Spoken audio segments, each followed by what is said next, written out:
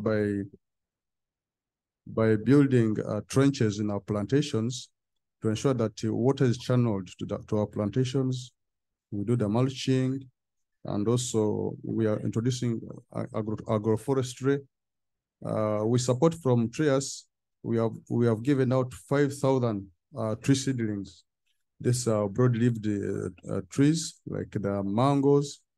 we have the cashew nuts and and the jackfruits. Yeah, we have given out those ones because we know that in our region there is now they're starting the oil mining, so to reduce those the carbon effects. Uh, we are encouraging farmers to start as complementary enterprises so that uh, if you have crop residues can be fed to animals. Uh, if you have animals, you can use cow dung for manure. I mean, uh, chicken uh, droppings can also be helped. Uh, you, put it for, uh, in, in, uh, can use it for manure. then we encourage uh, swamp conservation. We don't allow farmers to go into the swamps. and also because many people tend to grow vegetables, but we ensure that nobody encroaches the, the swamps. and we also Yes, also also we're encouraging ourselves to, to have um, manure, organic manure, uh, to, to, to, to fertilize our, in, our, in our plantations. Thank you very much. Thank you, thank you, John, and uh, sorry to to to push you a little bit. Uh, we have uh, seven speakers, so we need to to uh, to limit the the everyone. So from Africa, from Uganda, we go to France and Thierry. Thierry Devaux is a board member of at uh, Agri Agency AFD, is also a farmer. We discussed together this morning about your farm and uh, what you produce. So I, I give you the, the microphone. Okay. So my name is Thierry Devaux. I am French farmer and board member, board member uh, of AFD which is member of AgriCord, have uh, mobilized the French farmers by means of strengthening, supporting, and training through partnerships with farmer organizations in Africa and in Caribbean. Uh, I have two parts in my small presentation. First, my farm organization in France, and second, the AFD contribution to young farmers organization. 13 years ago, the hope to produce differently and to share my work led me to create a farm organization. The choice of soil conservation agriculture was revealed following the strengths of a testimony of a farmer who was blossoming on a video.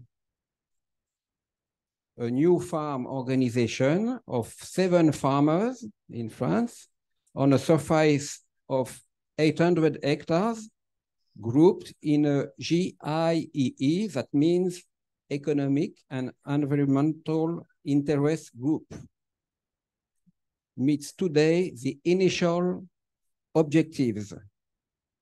That is, maintaining the high level of production,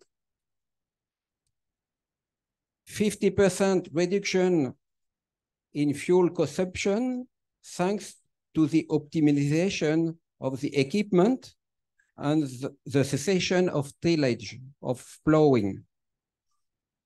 40% reduction in fertilizer consumption by using livestock effluents and introducing legumes in the rotation in permanent cover and between two crops.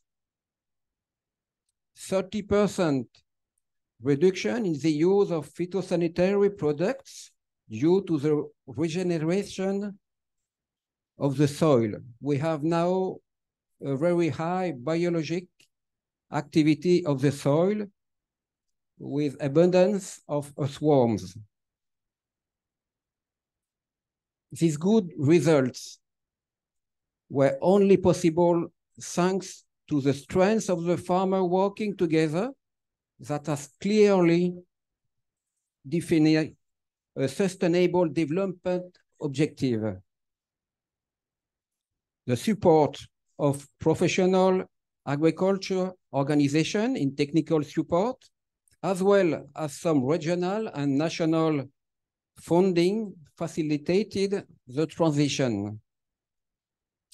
Today, I can say I'm proud to show many students and many farmers that a farmer organization makes it easier to implement climate change mitigation actions by limiting greenhouse gas emission and storing carbon.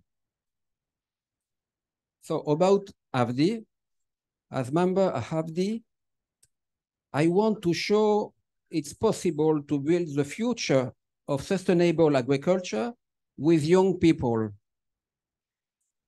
AFDI is working with several farmers organizations, mainly in Africa, to build support system for young farmers. The objective is to enable young people to set up farms that are resilient to climate change.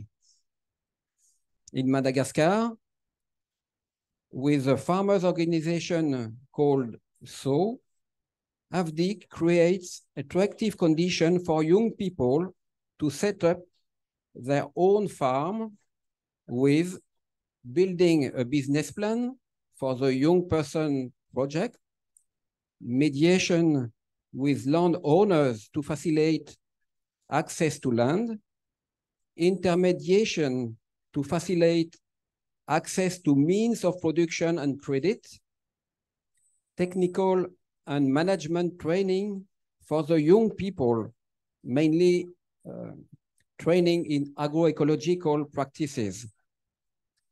Also, easy access to innovation and digital technology, access to the service of uh, the cooperative to benefit from collective storage and marketing. This set of measures allows young people to envisage a more serene future despite the constraints of climate change. This type of, this type of system also exists in Togo, where a network of education agroecological farms has been set up by REGEPAT, an organization of young farmers. Action in favor of young people on agroecology are taking place in Mali, Burkina Faso, and Cambodia. In each case, it's a question of taking into account the climatic challenges in order to effectively support young people when they set, set up. Furthermore, they are trained for advocacy for youth inclusion and decision making in the farmers organization and make them proud to become farmers. Thank you. Thank you, Thierry. Esther, you, I think you could take this uh, microphone. I will just introduce you quickly. So Esther is the secretary, uh, Esther Penunia Secretary General of the Asian Farmers Association for Sustainable Rural Development. So, to you, Esther. Thank you. Um, good afternoon to everyone, and thank you for being here. And let me quickly just introduce to you AFA, or Asian Farmers Association.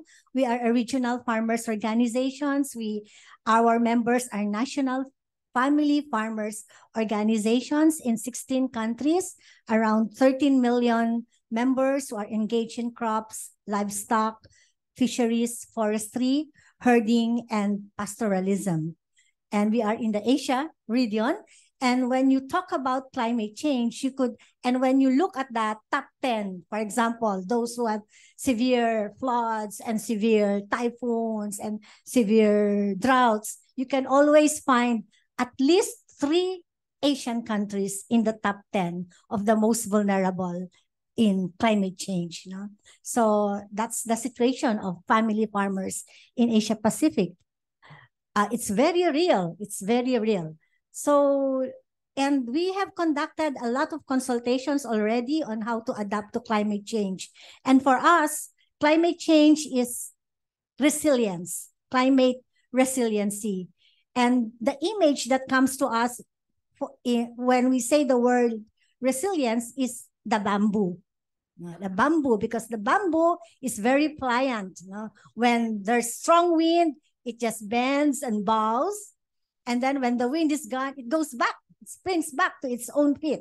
So that is what we want to have you know, in terms of climate, in, in uh, of, of adapting to climate change, that we be resilient in this. We accept it that it is there already, but we want to bounce back when it hits us and maybe reduce loss and damage to us as farmers and maybe also gain some opportunities if there are no? If there is like uh, uh opportunities no in in climate change. So in our consultations we have many stories but let me highlight some of the dramatic cases okay? So first uh we have a farming couple uh and they were awarded lands under the government's agrarian reform program and with the help of the National Farmer Organization, of which they are a member, they practiced integrated, diversified organic farming. So in a two hectare piece of land now, before you can just see rice, rice, monocropping. But now, after 10 years, you can see fruit trees, you can see flowers, you can see fish ponds with the ducks swimming and the ducks eating the insects on the rice fields. Now you will have, uh, they have some goats and they have chicken also and some pigs. No? So there is integrated crop livestock uh, in that particular farm. And and they and because of this kind of integrated diversified farming, they reduce loss when there is a climate uh, unpredictable weather. So maybe for this season the the bananas will fall down because of the climate change but there is the ducks that lay eggs that they could sell to the market and that can give them income. So it's diversified this this integrated diversified organic farming practices lead to more income and lesser inputs lesser costs for buying for example a chemical fertilizers. No? So the result is that the farming couple is saying now we are able to send children to school and we have food. No? Unlike before when we just had rice as our plant. No? The second uh, story is on fishing. So we were hoping we will we will have here Ka Dodoy Ballon. No? He is our Ramon Magsaysay awardee, Ramon Magsaysay Awards in Asia is like the Nobel Prize. He is a small scale fisher folk, but even then, he was able to lead his village and his town and then his province to plant mangroves. No, because at that time in 1994, when he was still very young, there were fish cages in his village, and then the fish got uh, lost because of the too much chemicals that were fed to the fish. And so they left. So mangrove reforestation, so from 50 hectares to 500 hectares of mangrove plantation from one village to three, four more than three municipalities in one province. And what is the result? The fish catch was seven times more today. And then the hours spent in fishing is two times shorter. So this is very good, no? sustainable fishing. Yes. And lastly, and lastly, women, no women farmers. So they do solar pumps, they do rainfall insurance, they have a cooperative that gives savings and credit to farmers. So, and this we saw when we went to Vietnam with FFF, uh, with IUCN and AgriCord, we saw a women's cooperative doing, for example, agrotourism now. So what is the common denominator for all of these things? We see that if farmers are organized and these organizations are strengthened and their capacities are built, so these organizations are, are able to help their individual members adapt to climate change.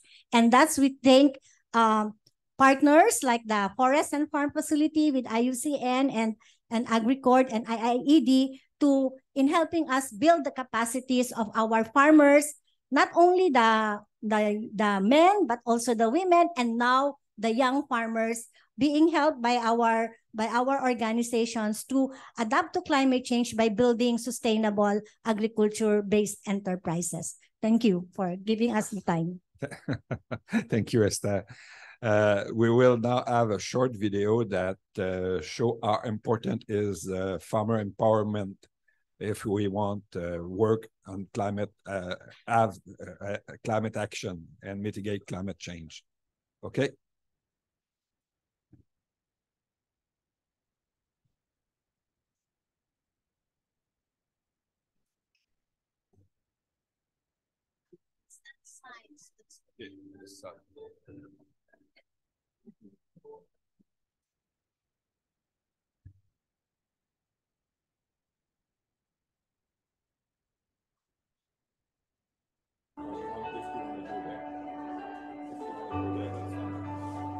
See the video,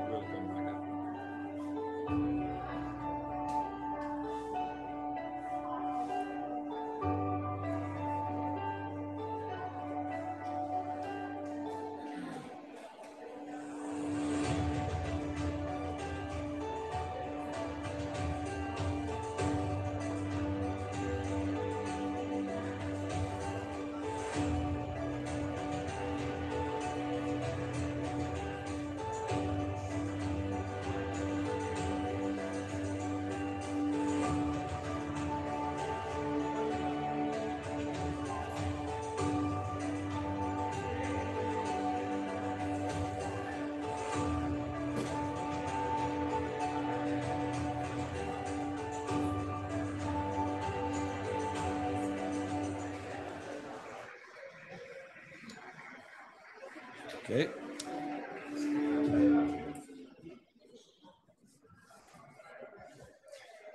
Okay, well, well, next, our next speaker will be Tina Huvio. She is Executive Director, Food and Forest Development, Finland. Tina. Thank you. Um, it's nice to be here. Nice to see you. I find these COP uh, meetings always kind of a chaotic. So, um, and we are fighting for the time with all the other side events. I would like to crystallize my messages in three. We talk about empowerment, we talk about financial flows, and we talk about how we get the knowledge and, and support to those farmers who need that. The video that you saw, that's done by AgriCord Alliance. As Esther was mentioning, it's part of the Forest and Farm Facility. And it's, I, I think that how we started the whole event kind of crystallizes how we're working. We give farmers the podium, their testimonies, how they work, and we're trying to support their organizations and all the agri agencies like mine FFD from Finland we have a mandating farm organization. So we build on this peer support that Thierry was so nicely putting together. We because we think that in order to get the farmers to change their practices and and change the whole system that they they're using to use the natural resources, the best is to have their peers to support them, and that's what we're trying to do. In, when we talk about climate change, we talk about very complex words. We talk a lot about the data, science-based, nature-based solutions. This doesn't happen in the head of farmers. Farmer thinks about what are the natural resources in his uh, disposal, how he can work with them, what are the reasons for him to change the, the way he's, he's practicing since the farmers are already experiencing the, the effects of climate change, everybody is motivated to do the change.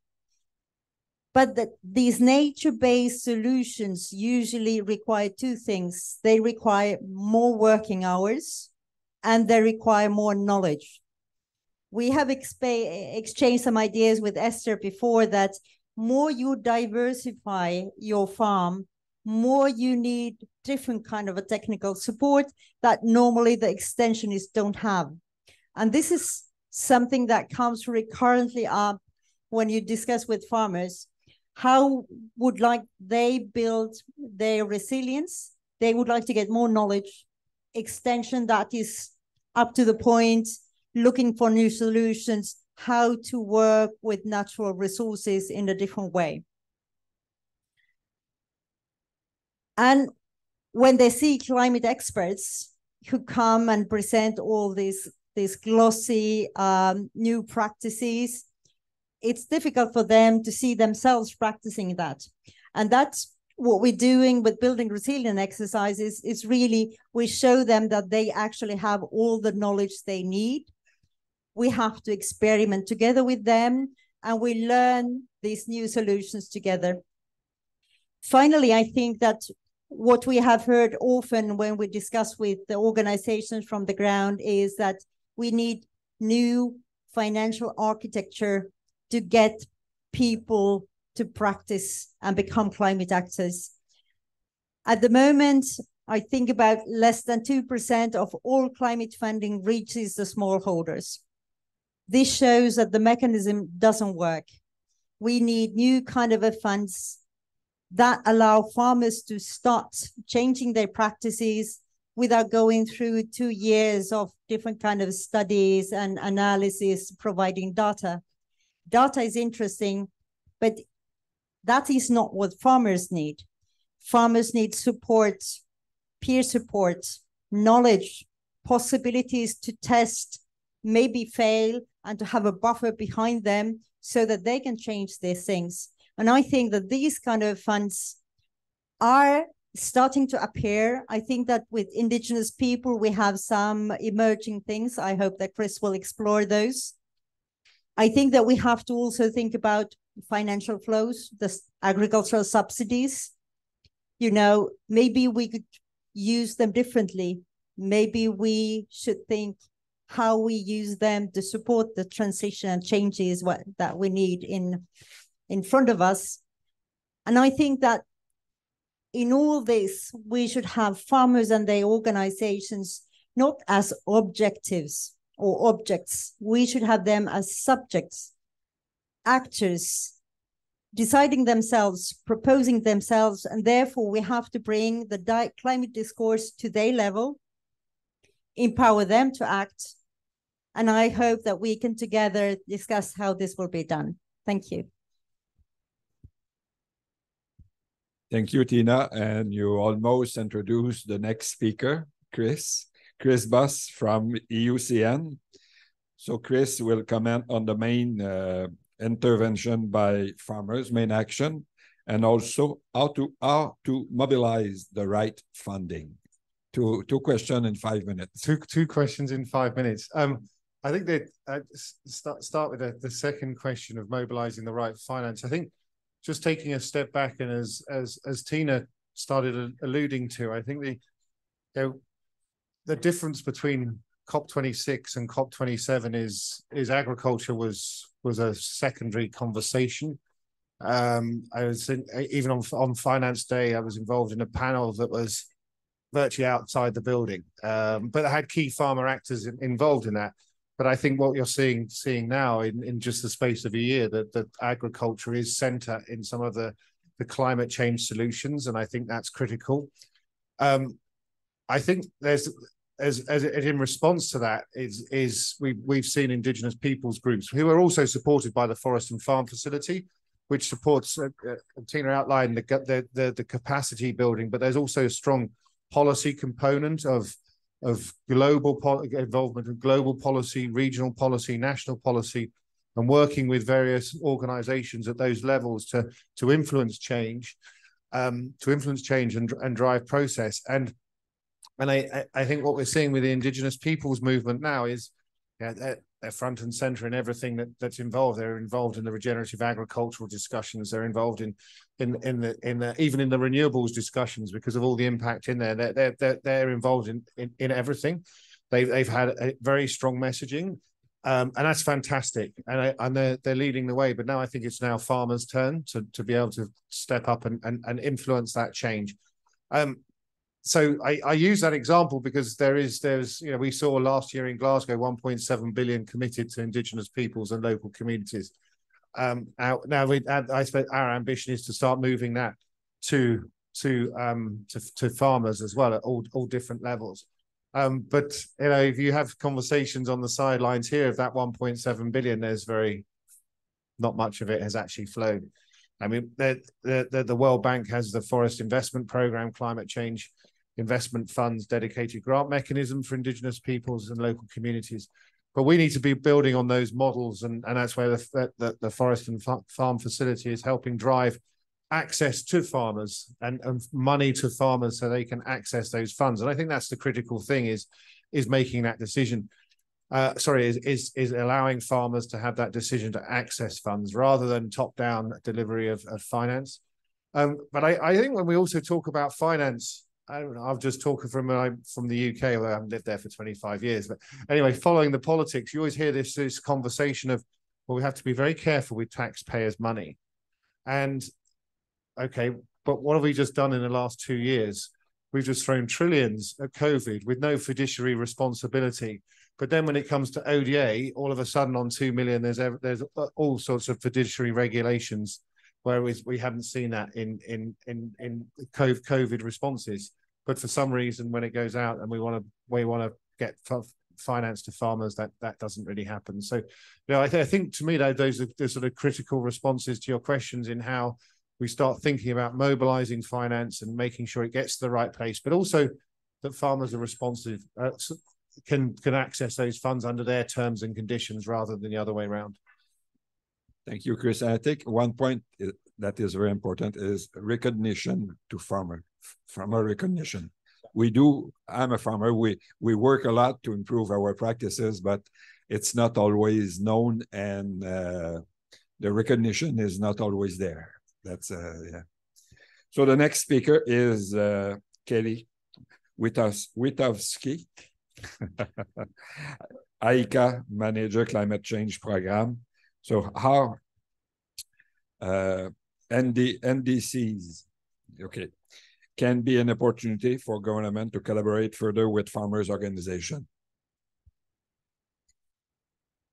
Thank you. Um, I mean, I'm so I'm so impressed sitting here listening to the three farmers we have on this panel, and this is of the wide variety of measures they're already taking to build resilience to climate change. I mean, we must have heard at least 20 here from, you know, bio, biogas to green manure to crop rotation to diversified integrated systems.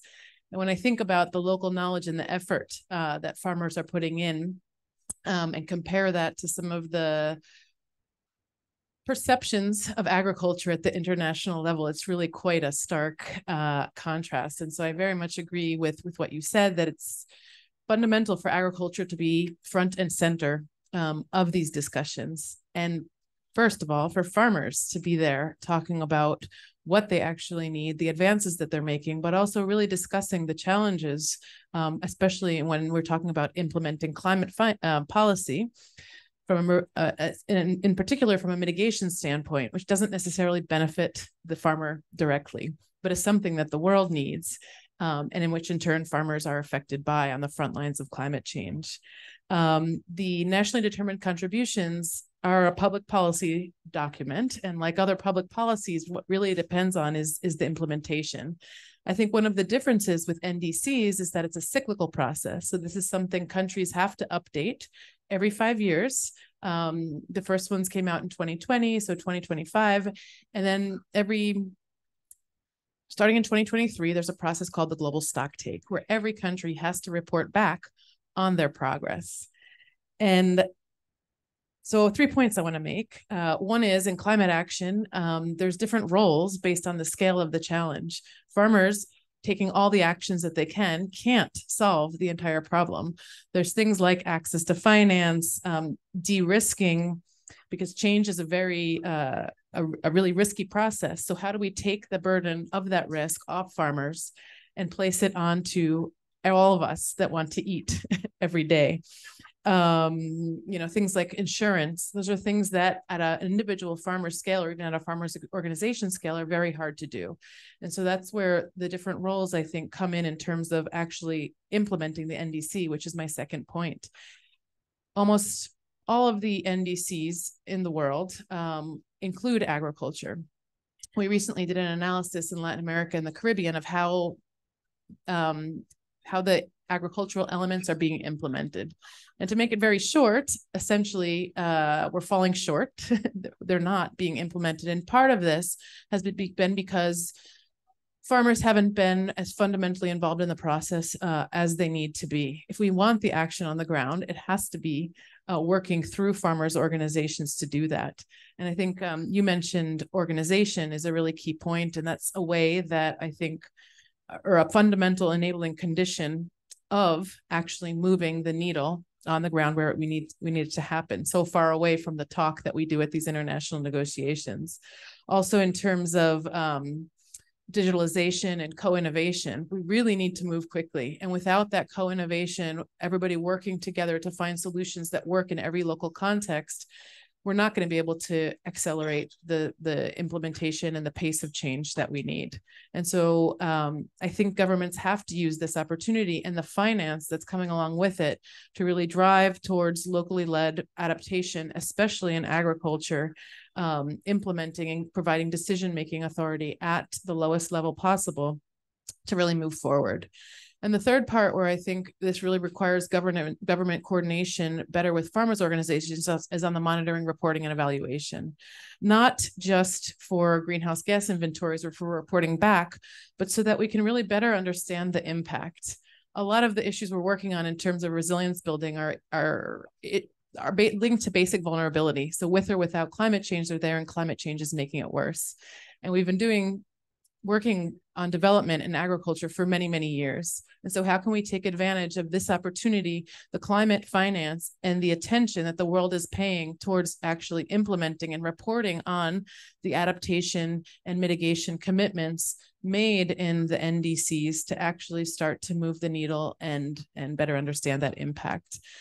So finally, just real quick from IICA's perspective, there's a couple things we're doing about that. One, for example, is facilitating this pavilion space because uh, um, as my colleague from IUCN said, agriculture hasn't really had an active role in negotiations. There's been lots of talk about agriculture and what ag agriculture should do, but not necessarily from the actors from the sector itself and even less from the farmers. And so we wanted to, to provide this space for agriculture to have a greater voice and visibility in these discussions.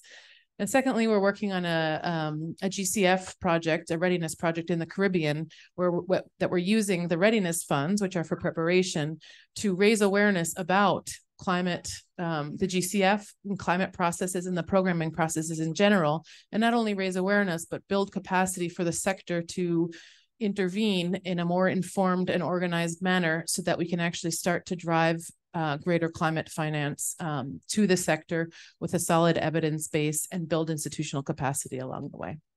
Thank you. Sorry, John. Uh, thank you, Kelly. So before I give the word to uh, Gabriella for the closing remark, do you have question one, question two? Or two to each other. Uh, You're looking at me, Marcel. Yeah, no, I, putting, I have, I have putting me on the spot. I, I have a few. I, I have a few questions too. Uh, my question: I have a, we have three farmers from three con different continents. They their issue are very different from each other.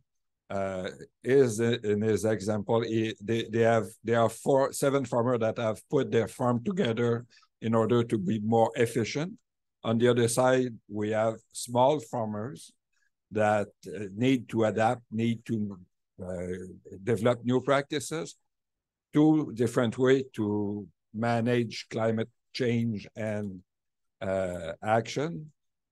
So is it one that is better than the others or why why do you merge your farm, farm together just for efficacy or labor or what?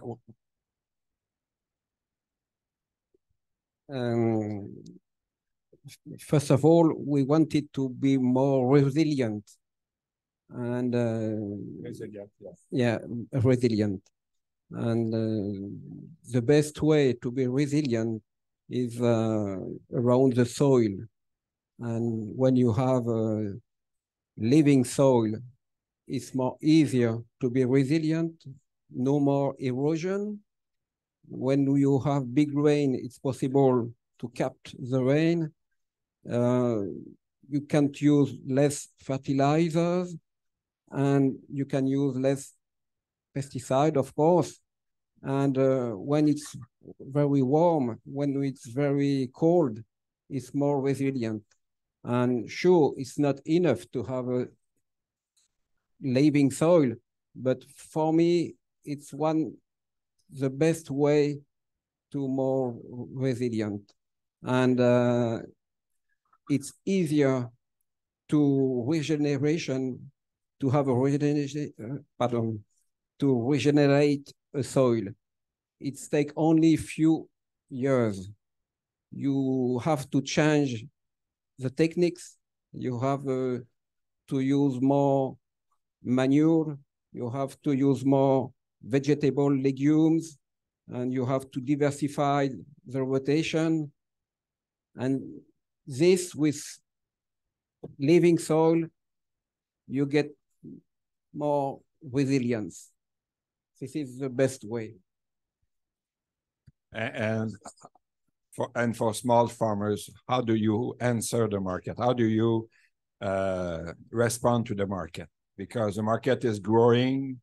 Uh, how do you respond to that? How do you do you work collectively to? Yes, uh, actually in AFA, we promote uh, the building and strengthening of farmers cooperatives uh, because we see we know that many farmers are just mere price takers they cannot dictate the prices of our products No. but when we are collectively collectively like uh, selling our produce or collectively processing our produce and collectively uh, distributing it and marketing it we earn more and especially through cooperatives because cooperatives are structures that provide uh, dividends and patronage funds. So there is equal sharing of profit. No? So uh, this is the way to go for us to really build cooperatives. And we have, and uh, we start with forming commodity clusters so that they will have the the mindset, the the encouragement, and then build their capacity so that they could manage their cooperatives. And I think Chris have a Yeah, I, I, think I just want to echo Kelly's words. I sit here with, with three farmers and totally not a farmer. So I mean, I, what we're hearing is, is, is, we're hearing from farmers and you've got Thierry on agroecological approaches, Esther talking about organization. So that, that just, to me, just demonstrates the complexity of, of different interventions and different financing needs. Um, and I think in, in, from just hearing that conversation is, is, and both responses is we need to be responsive to that. We need to listen to the farmer, you know, because it's very easy. Normally, what we do with top down funds, it comes out, we're going to do this. Are you interested? Oh, we'll try and do it. And then, then it doesn't happen. I mean, look, look what's happened with ODA over many years. It's, it's, it's been, there's been many examples of, of, of wasted funds. So, yeah, we've got to put farmers in, in when Tina talks about finance and funds to the farmers, the farmers have to be decision makers to that finance Mm. to drive it where it's needed to make sure it's happening. And I think that's that needs to be the step change. If you look at the Indigenous Peoples Dedicated Grant Mechanism at the World Bank that I mentioned earlier, they are the decision makers behind that. They're the governance, they're driving that. And, and we need the same mechanisms to for farmers as well. And, and, and Kelly is going to also jump in as well. I did have a question for my fellow panelists, but uh, before that, I wanted to mention yesterday on a panel, Harry Clark from New Zealand said that for every complex problem, of which climate change is certainly a wicked one, there's um, a very simple solution that's invariably wrong. And you know, listening to the farmers, I think, is one really easy way to fix that and make sure we get it right um, at first. Uh, but a question I had for for the three of you is, what do you say to your fellow farmers in your region when they're more um, slower on making changes, when they're afraid to make the changes um, that you guys are are making to create your more resilient systems? How do you speak? How do you talk to them? Do you want to answer from your, from Uganda? Well, uh, the case with the Uganda, let me say, uh, specifically Ma- Masindis Associ- Association. Uh, this is a farmer organization. Uh, farmers are, are, are organized at parish levels.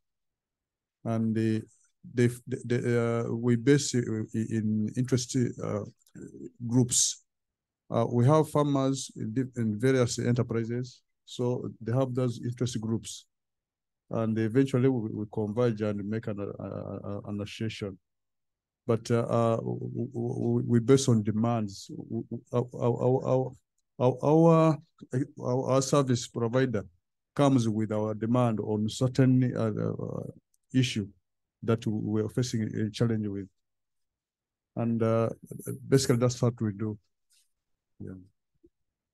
Esther? Yes, um, farmers are very cautious, no?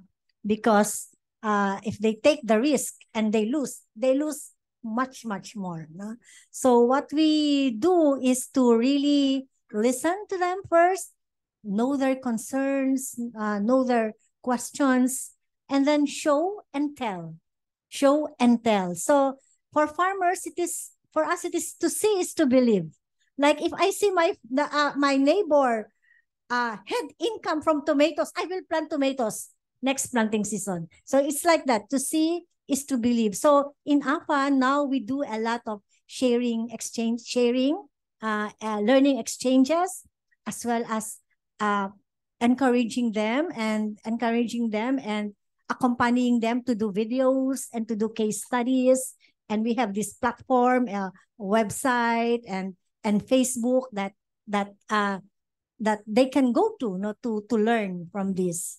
So it's really basically listen, show, and tell, and accompany them in the process. So farmer extension is very important because people farmer would want to uh, uh, approach where someone very easily if he had a pest in his farm, she had a problem in his farm, he, she needs quick help, and that's why I a model of our farming of our member in Sewa is very effective because SEWA, Self-Employed Women's Association with 2 million women, all women members, they train master trainers in a village of uh, like a radius of 20 kilometers. And this master trainer goes back when she is trained, goes back to the field and then provides extension services to the others. And then if the farmer is able to get that service, she pays to the master trainer. So it's a very good self uh, generating uh, income no, for the master trainer. And we hope that we could also have this kind of model replicated in other countries. Thank you, Esther. And uh, Thierry? Yes, everywhere in the world, farmers are afraid to change. And it's more easier to change not alone. It's why farmers organization in France, everywhere in the world is the same. It's easier to begin to change something. Economics first, in most of the places, uh, environmental. Many people are conscious of this because climate change, and also social, because they want a new way of life with adaptation and maybe mitigation of climate change. So the answer is mainly through their farmers organization. Uh, That's the way they all evolve together and uh, they share information, knowledge, and uh, and they sell together the product too to improve their their living. So thank you to everyone. Then I will let uh, Gabriela for the closing uh, say the closing remark. And I I uh, want to thanks all of you uh, for your uh, times and uh, experience, sharing experience in this uh, panel. Gabriela. Thank you, Marcel, and thank you everybody for joining us. I guess um, it was actually a very interesting and inspiring uh, side event for all of us. I'm not going to repeat uh, the ideas that everybody shared, but maybe a few takeaways for you to bring it home and to take it and share it with uh, your fellow colleagues. I think that we've heard that the transition is already happening. Uh, farmers are organized, they're adapting. It is very important to recognize their role. Uh, more and more, we're hearing that every time a discussion is happening around agriculture, we want them around the table to be together with us.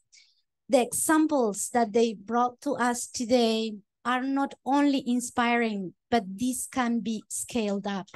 We need more interaction between Africa, Latin America, Asia, Europe, and furthermore, it is very important. Um, we need to learn also from these lessons and continue building the capacities for the farmers to continue strengthen and uh, forming cutting edge partnerships. All of them showed in different ways that we cannot do it alone. We have to have different uh, strategic partners to work with, to have trust, bonding, and in that way to continue empower each other someone said also that the financial architecture needs to change to reach the smallholder farmers. It really needs to get to the right place. And this is the discussions that we're having here at COP27. And we encourage ourselves to go further about that. NDCs, it seems that for the farmers, it is really an opportunity that we probably need to dig in the examples that were brought here can encourage indeed the finding of the different solutions in collaboration with different sectors. So just to end, we thank you a lot for being the panel. We thank you, IICA, to host uh, us and provide the space for having this dialogue. And uh, we take the opportunity to invite you also for the 11th, where we're going to have another panel as well to keep discussing these issues. And please, uh, yeah, to be together with us. Thanks a lot.